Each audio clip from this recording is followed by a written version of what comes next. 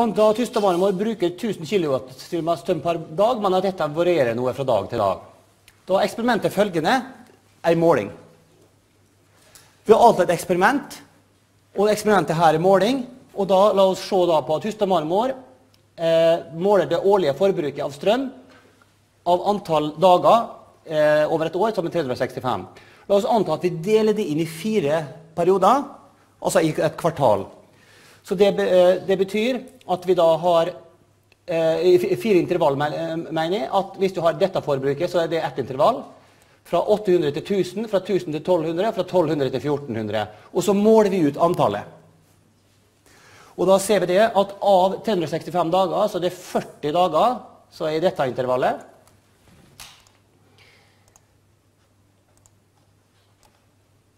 Vi ser her at i dette intervallet her så er det 40 dager som er innenfor det der.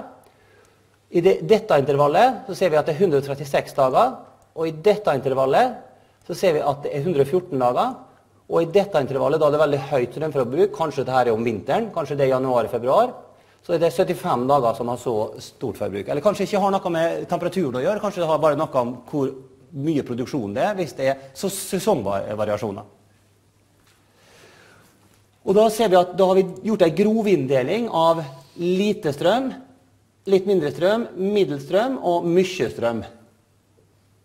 Veldig sånn grov inndeling. Og så hvis vi da plotter dette der, så får vi et såkalt frekvensdiagram. Da er det et antall. Og legg merke til en ting. Det er ren eksperiment, det er rene observasjoner, og det er rene tellesituasjoner. Av 365 dager i året så er det 40 som er i denne lille dette intervallet. Altså da mener vi 600-800 kWt, som er lavt i Hustad-marmor-sammenheng. Mens det som er høyt i Hustad-marmor-sammenheng, er mellom 1200 og 1400 kWt. Og det foregår 75 dager av 365. Og da har vi da tatt den firedelinga, så vi delt inn året Eller nei, delte inn strømmen, ikke året, for året har 365 dager, men vi har delt inn strømmen i, eh, i, intervall, og vi har delt inn i fire intervall. Og Da kalles det her relativ frekvens. Det kan alle sammen eh, huske på eh, hva relativ frekvens det er et viktig begrep. Så relativ frekvens, det er det her. La oss bare skrive det ned. Relativ frekvens, sjøl om det står der. Relativ frekvens. Det kalles da frekvens relativ, sånn som dette det er antall Det er nesten samme formelen som vi har i et telleforsøk. Så vi kan skrive det sånn Antall gunstige og antall mulige.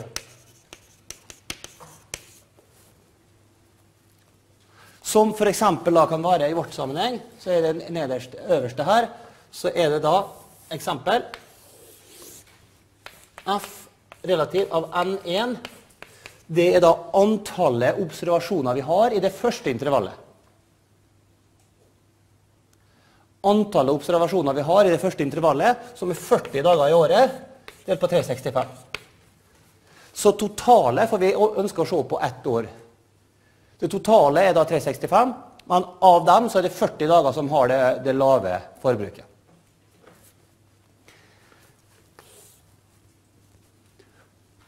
Og da ser vi at vi, får tall på dette her. Er det noen som kan tippe hva summen av disse her blir? Hvis du summerer disse tallene her, hva får du? Hva tipper dere? Én, ja. Det er helt rett. Så det er helt rett. Da får vi én på disse her. Får det til en relativ frekvens. Må også summeres opp til én. Greit. Og det her, Vi hadde også en samme formel her nå når vi ser sammenheng mellom telling og sannsynlighet. Det så vi også på tidligere når vi så på et tidligere kapittel. Så hvis vi plotter dette her, så ser det sånn ut. Så tar vi en ny inndeling. Nå deler vi inn daglige eh, forbruket. Eh, så ser vi nå f.eks. på to år. Kan vi, for gjøre. vi kan se på det intervallet vi vil. Da er det 730 dager, men vi ønsker å dele det inn i åtte intervall istedenfor fire. Og så gjør vi tilsvarende. Da får vi noe sånt. Altså, vi regner ut av relativ frekvens delt på x-en, som er antallet. Så vi ser her eh, plott. Og Det viktige da er å skjønne hva som er på aksene. og Det er der mange har trøbbel og ikke forstår hva som er på aksene. Og Jeg vil at dere skal bruke tid på det. Det at det som er her, er relativ frekvens, altså frekvens relativ. F står for frekvens, R står for relativ. Hva slags intervall må relativfrekvensen være mellom? Kan den være hva som helst? Positiv og negativ? Har du en maksgrense, relativ frekvens? Går det an å snakke om en relativ frekvens på 2,8?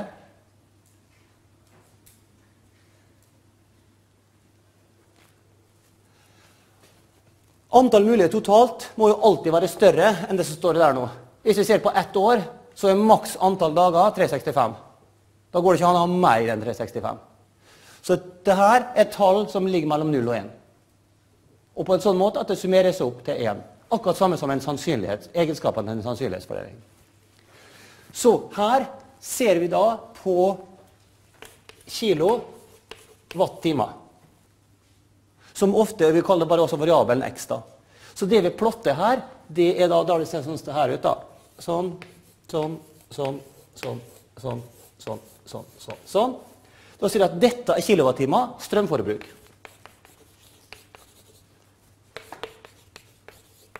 Så det som gjør grafer vanskelig i mange sammenhenger, er at folk glemmer å se på hva som er på x-aksen. Og hva som er på y-aksen. Og da ser vi at det her det er ingen som er på rundt 1, så det vil si at det blir bare ligger stort sett på 0,234. stort sett. Så deler vi inn i 16 intervall og ser f.eks. på fire år. Og så ser det sånn ut. Men dere ser det at det fort strømforbruket er det samme i den forstand at det er, ligger alltid mellom 600 og 1400. Men vi har gjort en mer fin inndeling.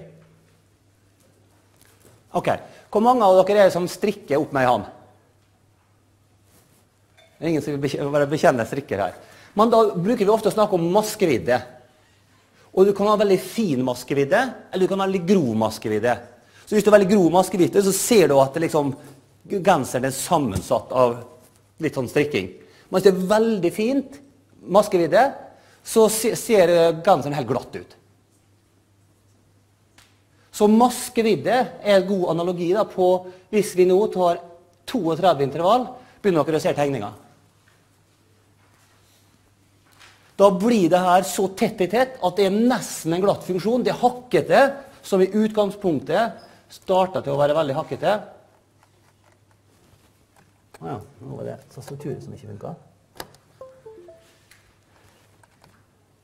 Det som i utgangspunktet var veldig hakkete, for vi hadde veldig grove masker, veldig grov inndeling, bare fire stykker. Og så tar vi, Istedenfor fire intervall, så deler vi inn i 32 intervall, og så blir det nesten helt glatt. Og da ser vi at den der kalles det f av x her nå. Så hvis vi kaller strømforbruket x, og så sier vi at den relative frekvensen der den blir nå går over til en funksjon av x. Ser du det? At vi har relativfrekvensen der nå, men da blir det her en funksjon. Og en funksjon er da ofte glatt. Sånn som vi ser på her, så er det en tetthet som blir glatt. Så den røde her, denne, den er da tett. Når vi deler inn radiofrekvensen i finere finere maskevidder, så danner det en glatt kurve, en kontinuerlig kurve. Denne kontinuerlige kurven kalles en tetthetsfunksjon. For å skille mellom For å skille mellom det her med diskré og kontinuerlige, legg merke til én ting. Det er så fundamental forskjell at vi spanderer faktisk på oss å gjøre følgende ting. Denne kalles P, denne kalles P, denne kalles P. Mens denne er F. Så for å virkelig skille mellom hva som er glatt og hva som er hakkete, så kaller vi det her tetthetsfunksjoner. Så det betyr at P av x lik x går over til f av x når vi går fra eh, hakkete og over til eh, glatt. Det mer korrekte er skrev, går over til kontinuerlig. Og da ser vi at det her er altså en sannsynlighetsfordeling. Sansfordeling. Og en sannsynlighetsfordeling det kaller vi P. Mens det her har også fått et eget ord. Sannsynlighetstetthet.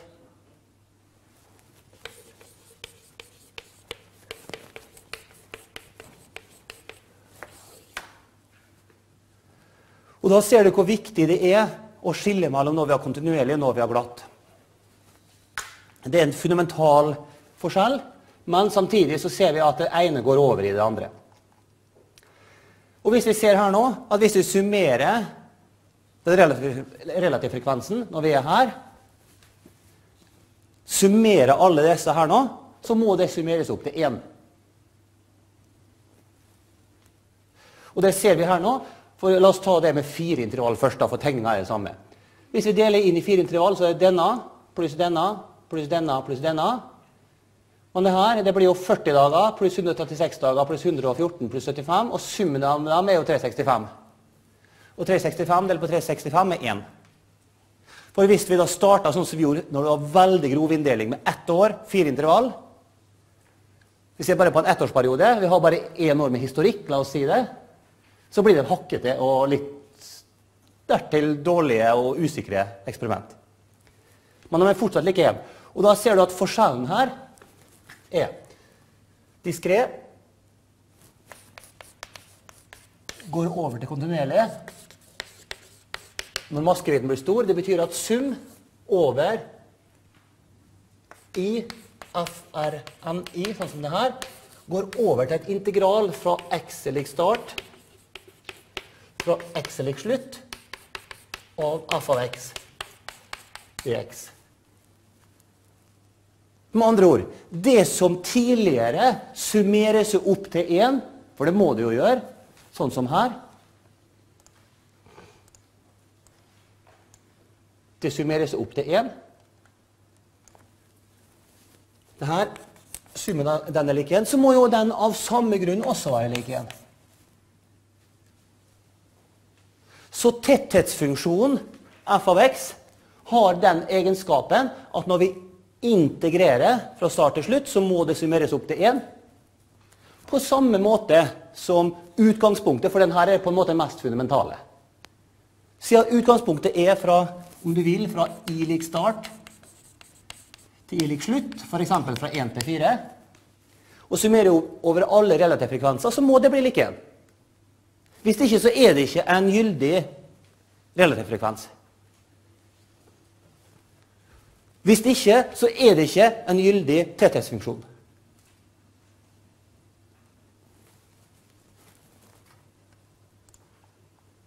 Med andre ord da kan vi se på følgende ting. At vi kan se på et, hva er da sannsynligheten for å regne ut ting. Kan vi slå nederst på den sida. Så skal vi se på likhetene og ulikhetene.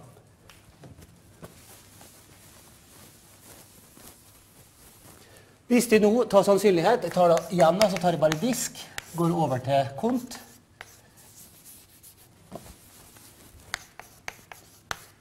Hvis de skal regne ut en sannsynlighet at, at f.eks. A er mindre eller lik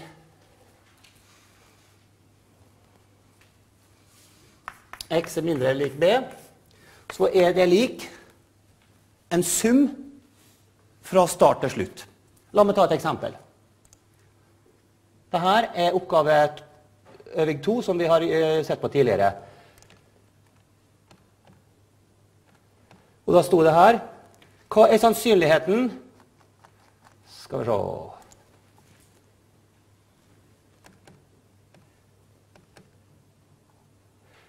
Hva er sannsynligheten for at du skårer Var ikke fire mål et sted? Stemmer ikke at det var fire mål et sted? Ja. Hva er sannsynligheten for at du skårer mindre enn fire mål? Altså mellom 0 og 4 mål. Jo, så er det mellom 0 og 4 så er det summe fra start til slutt av P av x lik xi. Det er en sum. For eksempel, sånn som her nå, så ser vi da at hva er sannsynligheten for at Tufte skårer mindre enn fire mål? Jo, det er alt som er mindre enn fire, altså 0, 1, 2, 3. Det er en sum. Da må vi summere sannsynlighetene fra 0 til 0, 0, 1, 2 og 3. Så det er en sum sånn som dette. Hvis vi nå hadde hatt en kontinuerlig sannsynlighetsfordeling og skal finne akkurat den samme da, her nå, så blir det den summen her. Hva blir det? Hva, eh, den summen her, Det blir ikke en sum her nå, men det blir et, hvilken matematisk operasjon? Når den summen her den summen her må ikke bli 1, nei. For den, sum, den sannsynligheten her var jo f.eks. i dette tilfellet så var det 70 Så den her kan typisk være 0,7. Det er 70 prosent sannsynlighet hvis du da ligger mellom 0 og sånn, da blir det. Og 4. Å skåre mellom mindre enn fire mål Da må du være mindre enn fire, men større enn null, for det går ikke an å skåre minus tre mål. Og den sannsynligheten der er 0,70. Fordi at du har ikke, har ikke summert over hele verden, verdensbildet. Du har bare summert over det lille intervallet vi bestemmer oss for å se på. Sannsynligheten for å skåre mindre enn fire mål. Og det er 70% Så vi, derfor så summerer vi over 1, 2 og 3. Sånn som her. Vi summerer over 0, 1, 2 og 3. Og det blir 70. Så det er et underrom av det store utfallsrommet. Hva blir det summen der? Så når vi har et diskré, så er det en sum. Hva blir tilsvarende sannsynlighet her nå? Ikke i tall, men hva, slags uttrykk skal stå her? Et integral, ja. Så hvis den summen her går over til integral fra start til slutt av f av x dx, og da blir det et eller annet tall her som blir da mindre enn 1. Hvis vi, da, eh, hvis vi da bare tar fra A-start til B, A til B blir det da her nå. Det blir fra A til B. Så her summerer vi da fra I lik start er jo 0 til mindre enn 4, det blir 3. For at det skal være mindre enn 4, da skal ikke et 4 være med, det er bare 3. Så summerer jeg fra 1 til 3. Eller her da, blir det da fra 0 til 3.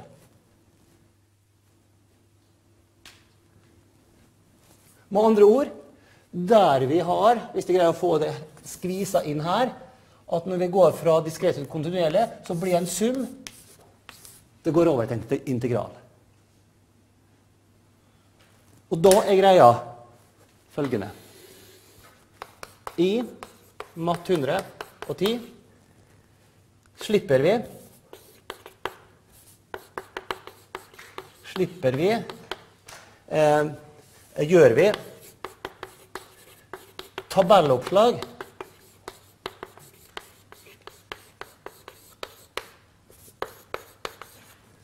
når vi skal regne ut integral, slik at eh, vi slipper å faktisk regne ut integraler, for dette her er et statistikkurs, ikke et mattekurs. I Matt 100 gjør vi tabelloppslag når vi skal finne Vi skal finne integral. Og Grunnen til det er som sagt at dette her er statistikkurs og ikke et mattekurs, så dere skal få slippe å integrere. Men vi må da slå opp i en tabell, en tabell som står i kompendiet, og som dere får med på eksamen, og det skal vi trene oss på i øving 4.